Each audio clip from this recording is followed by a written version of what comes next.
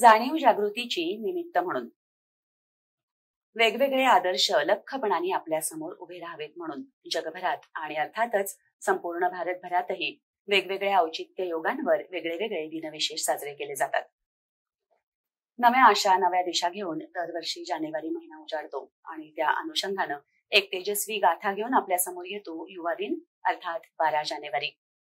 विश्वशांतीचं ब्रीद घेऊन अध्यात्म आणि विज्ञान यांची सांगड घालत ज्ञान विज्ञानाच्या माध्यमातून युवकांना आणि अर्थातच पर्यायानं समाजाला पुढे नेणारे विश्वशांतीचे उपासक डॉक्टर विश्वनाथ दा कराड यांचंही विवेकानंद हे दैवत आहे आज या ठिकाणी त्यांच्या या ध्येयभूमीत ध्यासभूमीत प्रख्यात अभिनेते वक्ते व्याख्याते इतिहास परंपरा समाज या सगळ्याचं विलक्षण भान आणि अभ्यास असणारे राहुलजी सोलापूरकर स्वामी विवेकानंदांविषयी युवा दिनाविषयी आपल्याला सांगण्यासाठी इथे आले राहुलजी स्वागत. मनापासून नमस्कार.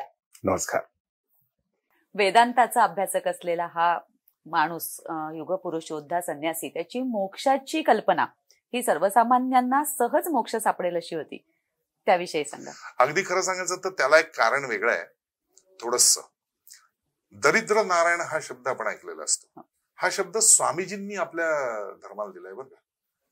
म्हणजे आपल्याकडं आपण जर ऋग्वेदाचा विचार केला तर मातृदेवो भव पितृदेवो भव आचार्य देवो भव असं आपण म्हणतो त्याला आपले उपराष्ट्रपती शिक्षक दिन ज्यांच्या नावाने आपण. पाळतो ते डॉक्टर सर्वपल्ली राधाकृष्णनांनी चौथा आयाम जोडला तो होता राष्ट्र देवो भव.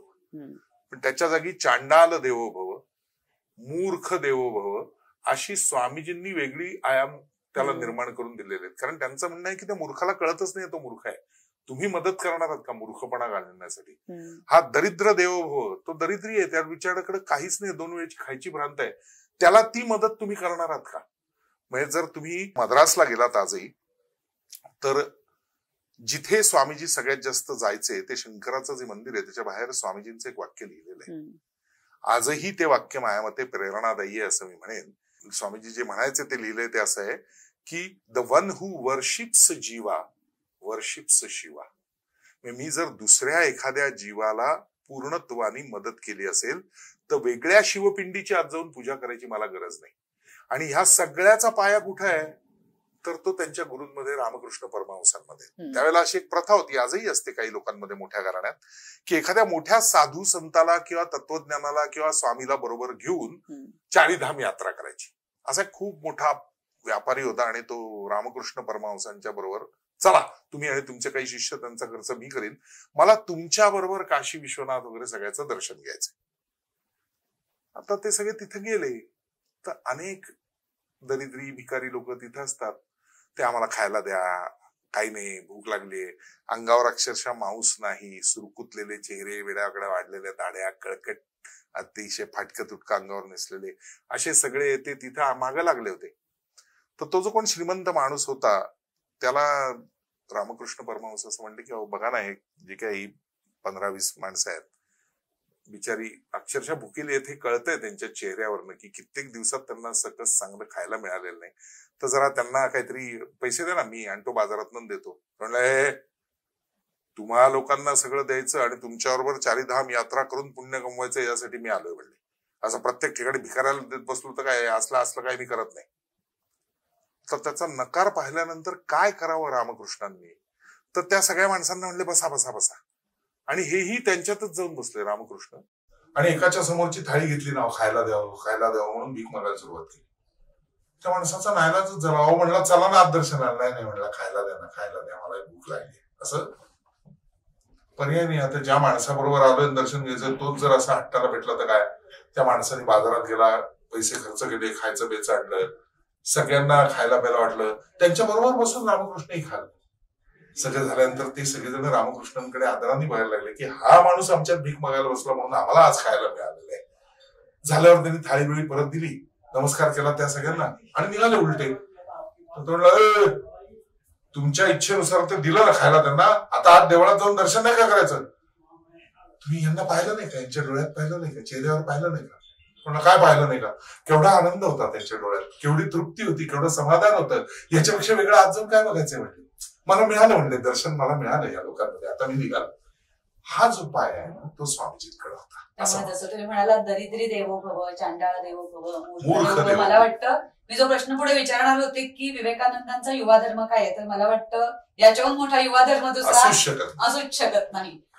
तुम्ही मगाशी एका प्रदर्शनीचा वेगळा उल्लेख केला झालं असं स्वामीजी बोटीने गेले.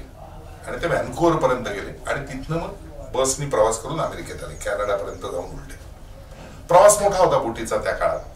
ती बोट चीनवरनं वगैरे अशी गेलेली होती. एके ठिकाणी मध्ये ती बोट एका बेटावर थांबलेली असताना एक खूप मोठा भारतातला व्यापारी इंडस्ट्रियलिस्ट त्या बोटीत चढला. आणि त्याला असं कळलं की वेगवेगळ्या धर्माचे काही प्रतिनिधी चाललेत आणि त्याच्यात हिंदू धर्माचं प्रतिनिधित्व करण्यासाठी एक माणूस पहिल्यांदाच अमेरिकेत चाललाय. त्या माणसालाही तत्वज्ञान वगैरेची ओढ होती. म्हणून त्यांनी स्वामीजींना निरोप पाठवला. आता निरोप पाठवला का? तो तो एवढा मोठा इंडस्ट्रियलिस्ट की तो डेकला सगळ्यात वरच्या बाजूला सूटवर राहत होता. आणि स्वामीजी खाली एकदम खालच्या डेकला सामान्य माणसांमध्ये राहत होते. तर त्यांनी निरोप पाठवला की सतरा दिवसाचा अजून प्रवास शिल्लक आहे. रोज संध्याकाळी एक दोन तास तुमचे मला मिळाले तर तुमच्याबरोबर मला काही चर्चा करायला आवडेल माझ्या काही शंकांचं निरसन होईल त्यातनं तत्वज्ञानाविषयी वगैरे. तर आपण वेळ दिलीत तर मी रोज खाली येईन. स्वामीजी म्हणले नाही नाही तुम्ही एवढे मोठे आहात की मीच वर येत राहील आणि मग रोज स्वामीजी वर डेकवर जायचे त्यांच्याबरोबर चर्चा करायचे. या चर्चेदरम्यान स्वामीजींनी सहज विचारलं तुम्ही का चाललात शिकागोला? तर ते म्हणले एक जागतिक औद्योगिक प्रदर्शन तिथं भरता येईल आणि मी बिझनेसमॅन आहे इंडस्ट्रियलिस्ट आहे. त्यामुळे जे काही नवीन चांगलं तिकडं निर्माण झालं असेल ते भारतात आणणं त्याचं रिप्रोडक्शन करणं ते विकणं म्हणजे आपण आज थ्री इडियट्स वगैरे मध्ये बघतो ना की ती सायकलवरची दळण करणारी चक्की तयार करणं वगैरे हे त्या काळामधले प्रयोग असे वेगवेगळे किंवा डायनामीटरवरती लाइट लागतोय वगैरे डायनोमा लावून पूर्वी सायकलला असायचा तो. तर असे जे काही शोध लागले असतील ते बघायचे आणि ते घेऊन मला भारतामध्ये येऊन माझ्या उद्योगधंद्याची भरभराट करायची यासाठी चाललोय. स्वामीजी गेल्यानंतर जेव्हा त्यांना कळलं की अरे आपण इथे आलोय आणि जागतिक धर्म परिषद तर अजून तीन महिने पुढे आहे. म्हणजे आता करायचं काय? मग त्यांना आठवलं हा माणूस म्हणला होता. म्हणून मग तेही औद्योगिक प्रदर्शनीला जायला लागले. झालं असं. स्वामीजी प्रदर्शनीला गेले एका स्टॉलवर गेले. त्यांच्या मागे इतरही काही मंडळी होती त्याच्यात काही युरोपियन लोक होती. एक माणूस होता. त्याला अचानक असं लक्षात आलं की अतिशय उत्तम इंग्रजी बोलणारा हा जो काही भगव्या कपड्यातला माणूस आहे हा काही मूलभूत प्रश्न विचारतोय. कदाचित या माणसाला शास्त्र विज्ञान संशोधन हा विषय कळत नसावा. ते तो समजून घेतोय समोरच्या माणसाकडनं. पण जो लावलेला शोध किंवा नवीन निर्माण झालेलं यंत्र आहे ते मानवाला नक्की कुठल्या पद्धतीने उपयोगी पडू शकतं आणि कशा पद्धतीने त्याचा वापर झाला पाहिजे तर ते विध्वंसक होणार नाही मानवी जीवनाला. हे मांडतोय हा माणूस खूप छान. आणि म्हणून त्यांनी घाईघाईने आपली डायरी काढली आणि पेन्सिलनी त्याच्यावरती लिहून घ्यायला सुरुवात केली. झालं असं स्वामीजींना काहीच माहीत नाही असा कोणी माणूस आहे आपल्या मागे. रोज सकाळी तो लवकर येऊन थांबायचा. स्वामीजी आले की त्यांच्या मागोमाग प्रत्येक स्टॉलवर जायचं लिहून घ्यायचं. स्वामीजी काय प्रश्न मांडतायत ते वगैरे वगैरे. असं झालं आणि काही दिवसांनी स्वामीजींच्या असं लक्षात आलं की आपल्याकडचे पैसे संपलेत. कारण कन्व्हर्जन डॉलरमध्ये होतं ना. जे काही दिले होते पैसे समजा भारतातर्फे दहा हजार दिले असतील. त्यावेळेच्या डॉलरच्या किमतीनुसार ते काही शेकड्यात असणार तर ते संपत आले. आता करायचं काय म्हणून स्वामीजींचं आणं बंद आलं तो हिरमुसला. दोन तीन महिन्यांनी मग स्वामीजी परत धर्म परिषदेत आले आणि अमेरिकेच्या पेपर्समध्ये छापून आलं. मग परत स्वामीजींची काही व्याख्यानं त्यांनी त्या माणसाने जाऊन परत एकदा अभ्यासली. स्वामीजींना यातलं काही माहिती नव्हतं. सांगण्याचा उद्देश असा दोन हजार बाराला स्वामीजींच्या सार्ध शतीच्या वेळेला एक पुस्तक प्रसिद्ध आल्यावर मला इतका धक्का बसला की आपल्यालाच हे माहिती नसतं. स्वामीजी दुसऱ्यांदा ज्यावेळेला युरोप अमेरिकेमध्ये गेले होते तेव्हा एका फ्रेंच नटीनी ती खूप या हिंदू तत्वज्ञानाची फॉन्ड आणि अशी अभ्यासक वगैरे होती तिने स्वामीजींना घरी राहायला बोलवलं. आणि तेव्हा ती म्हणली माझे एक शेजारी आहेत आणि खूप छान काम करतात शास्त्र वगैरे या विषयात त्यांना तुम्हाला भेटायची इच्छा आहे तर आपण भेटाल का स्वामीजी? हो म्हणले का नाही?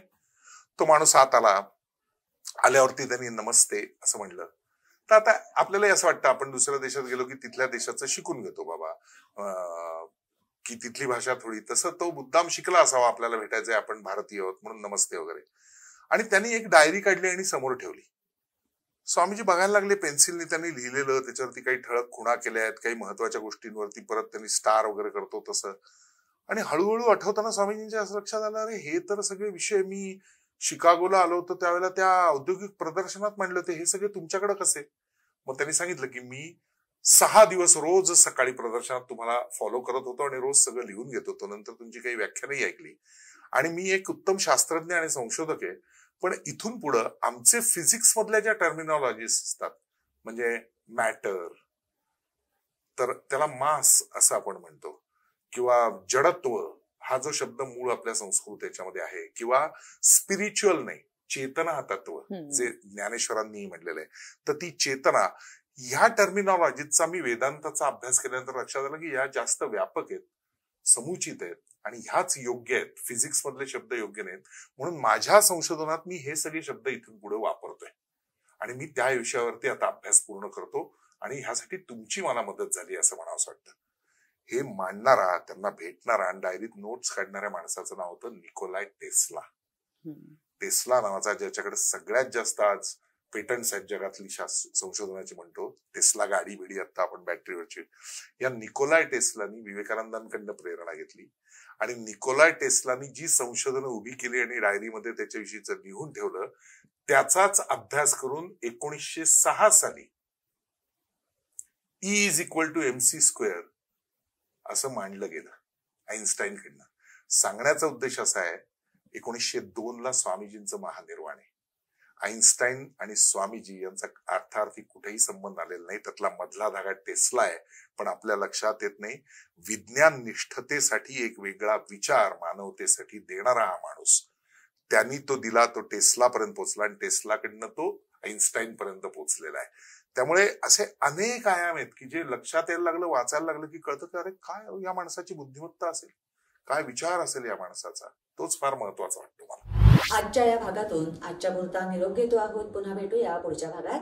नमस्कार. वेदांताचं पुस्तक बघून त्या माणसाची जरा चाळवली बुद्धी की बाबा. हे काय प्रकरण? हा समोर बसलेला माणूस हातात वेदांत वगैरे इंग्लिश म्हणून त्यांनी विचारलं. विचारल्यावर स्वामीजींनी उत्तम इंग्रजीत त्यांना उत्तर